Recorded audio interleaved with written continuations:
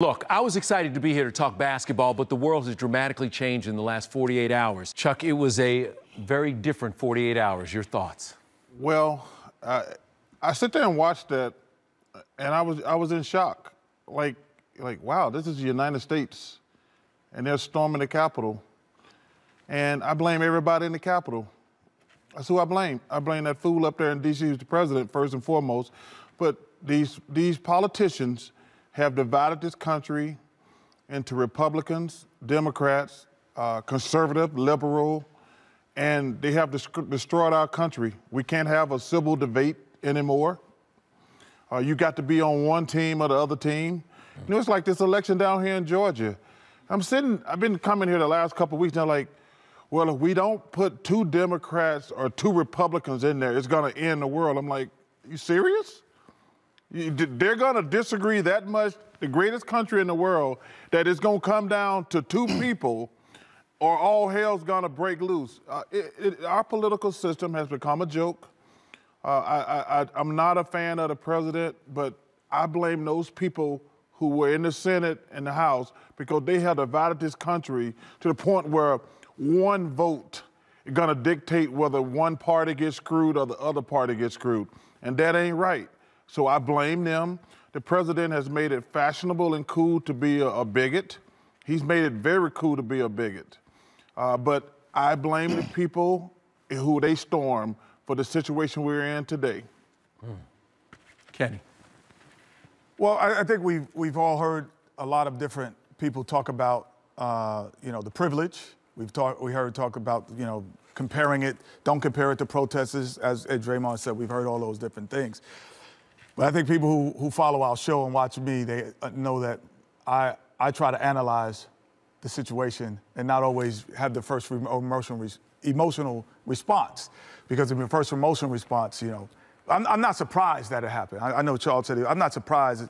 I, have I've been at dinner tables, tables where we said, man, if this happens, they're going to storm the Capitol or they're going to burn the White House down. I think every black family's heard that kind of phrase. Sure. So we, we, we understand that. But what this really about, and I think this is important to get a million dollars worth of game, so to speak, is it's, you know, what were they angry about? The vote. See, we, they want us to divert to the storming. They're, they're angry. The things that we protest against were about life and death, about, you know, citizens of life and death for black and brown people. They're angry because of the vote and was willing to list, uh, risk four people's lives for that and was willing to risk being incarcerated behind the vote. So that's important for us to understand how important that is to people like that in that time of uh, mind frame. So the vote is the most important, which leads to what? Group econ- economics, which then leads to systematic racism. That's why they were climbing the walls. They weren't climbing the walls. You have to go back to why they were mad. Because in Georgia, it becomes a blue state. In California, they're voting now. Oh, if you get out of, if you, if you, if you're a, a, a federal, if you come out of prison, you're down to vote now. You know, those are the things that are systematically changing the country. You know, so million dollars a game. Realize why they were angry and not the emotion of what happened, and say, now arm your kids with education, arm your kids with voting arm your kids with group economics because those are the things that people are dying over and starts the triple, trickle effect of you getting shot in the street, defund the police thought process, all those mm-hmm. things. Remember why they were angry. Mm-hmm. It's obviously we saw an attack on our country, an attack on our democracy.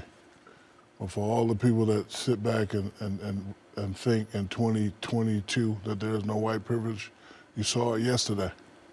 If you have to ask yourself, what if that was black people? You know there's a problem.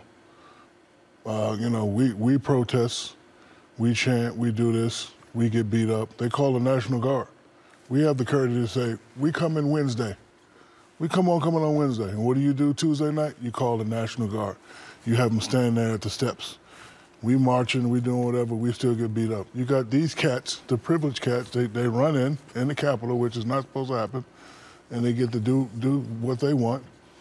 and it's still going on. It's unfortunate that it's still going on, but you know, the good thing about us is we're starting to make changes. So now the people that we're making change with, they they have a job to do. They have the job to make sure things start to turn around and you know become how we want it. You know, I'm I'm disappointed that I saw that, but my thing is, how you let this guy get in Nancy Pelosi's office Put his feet up. and go like this?